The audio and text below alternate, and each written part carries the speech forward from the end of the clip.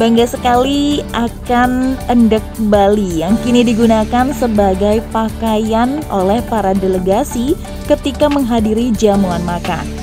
Presiden Joko Widodo menjamu para pemimpin negara delegasi G20 untuk makan malam di Taman Budaya Garuda Wisnu Kencana.